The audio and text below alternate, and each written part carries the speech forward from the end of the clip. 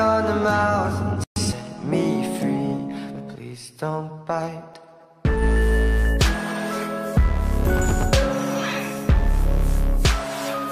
Thank you.